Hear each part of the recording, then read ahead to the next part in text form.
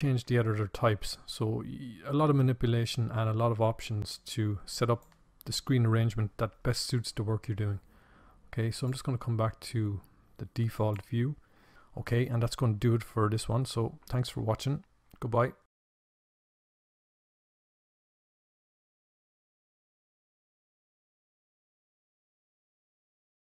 Okay, so let's just take a look at the 3D view and just some simple navigation and some selection. If I press the left mouse button while I'm hovering over this camera, you can see I can select it. Now it's important to have set up the interface. In a previous tutorial I showed you how to go to File, User Preferences and enable some add-ons and we change some settings in the Input tab and the most important one here is the left select with the mouse button okay Blender's default is right I'll be using left for these lectures.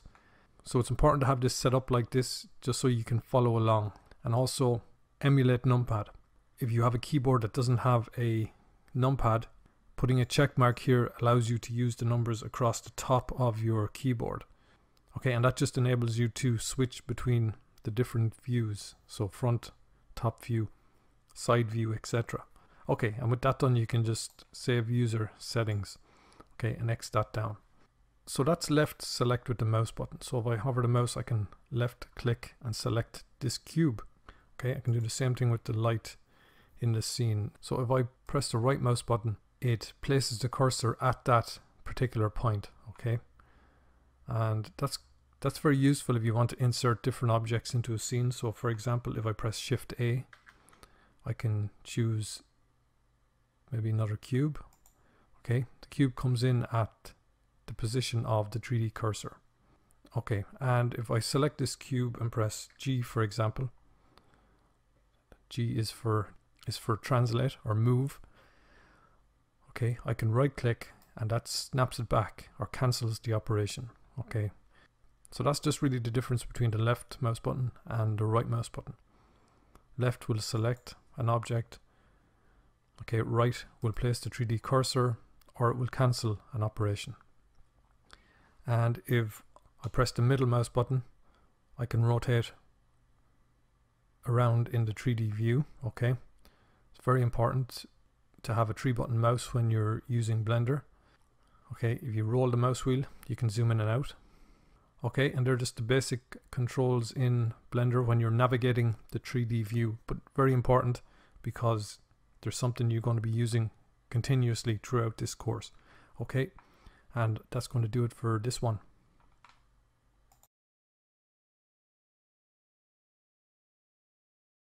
So I'm just going to have a quick look at the different modes within Blender.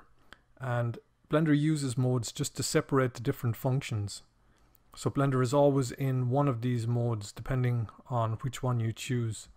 So each of these modes has a specific purpose that allows you to edit the selected object. And the default mode and the current mode that Blender begins in is object mode. Now object mode allows you to add new objects. Okay, so I can just right click, place the cursor out there, press Shift A, and I can add a, I'm just going to choose a UV sphere. Now this object is added to object mode, it's separate from this cube that's in the scene. Okay, and in object mode we can join objects together. So if I press and hold shift, select the cube, I can press control J and that joins both of these objects and they're now one object. Okay, you can also add them to groups if you have a, a larger project. Okay, groups are a good way of managing the different sets of objects in the scene. Okay, I'm just going to delete both of these objects. Okay, and I'm just going to put the cursor back at the center. So Shift S, cursor to center. Okay, that just puts the 3D cursor back.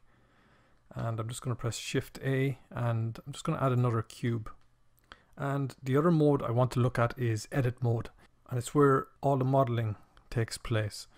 If I press tab, okay, it brings me up the mode menu. And this displays the different modes. So we have so we have texture paint mode, object mode, vertex paint, sculpt, weight paint and edit mode. Okay, and just for This tutorial I'll just be concerned with edit and object. I'm just going to right click for a second and let's come down here to this option. Okay, if I click here, we have exactly the same menu. If by any chance when you press tab you don't get this menu, just make sure you come up here to File, User Preferences, under Add-ons. I'm just going to come down here to Pie Menu Official. Okay, so this is the shortcut key. Make sure that one is enabled and click Save User Settings. Okay, if you don't have that enabled, you won't get the quick access menu. Okay, just going to X that down. Okay, I'm just going to add another object. I'm just going to right click over here, Shift A, and I'm just going to add a UV sphere again. Okay, I'm going to select the cube and press Tab and come into Edit Mode. Okay, now edit mode allows us to modify the geometry of the mesh without affecting the global properties of the object, that, that is the location, rotation, etc. In edit mode, with this cube, I cannot select other objects in the scene, so I cannot select that UV sphere. Okay, that's an individual object. Same thing with the camera. We, we have no access to other objects, so we're so we're basically in edit mode with the cube to edit it. Okay, to exit, all we have to do is press tab and come back to object mode. We can select, now select the other objects in the scene. Okay, and I think that's going to do it for this one.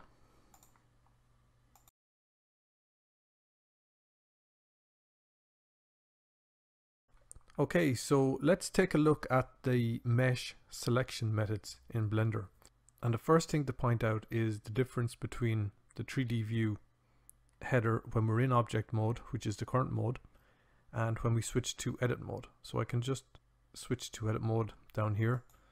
Okay, and you can see a couple of different options become available once we're in edit mode. Okay, and they include the mesh selection methods. So we have vertex, edge, and face. And you can just switch between them down here.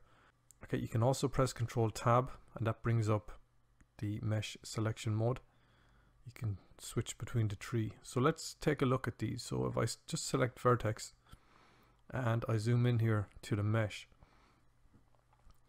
every mesh in Blender consists of the three structures. Okay, so vertices, edges, and faces.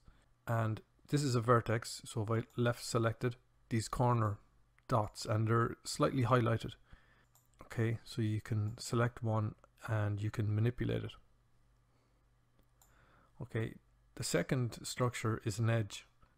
And if I press Control Tab, I can choose the mesh selection mode to be edge. So if I select edge, and if I select an edge on the cube, and an edge is a second structure of a mesh, and it connects two vertices by a straight line. Okay, you can select edges, and again, you can manipulate them in a similar way to vertices, you can also rotate them.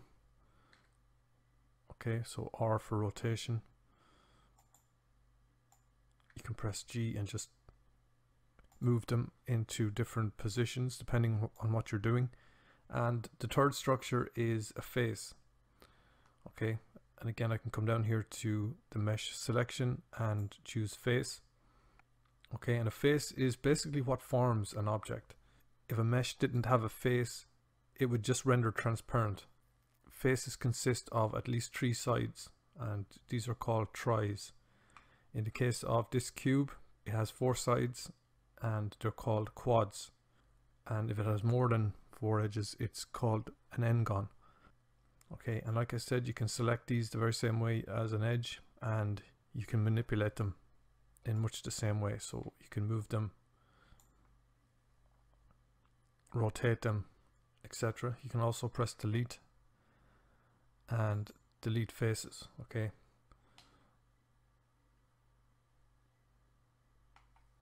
Okay, it takes a little bit of getting used to if you're new to Blender. But just get used to switching between the selection methods, okay? So vertices, edges, faces. And the fastest way is probably the shortcut key of Control Tab. Okay, you're constantly switching between the three of these options. Okay, and that's basically the mesh selection methods. Okay, and that's going to do it for this one.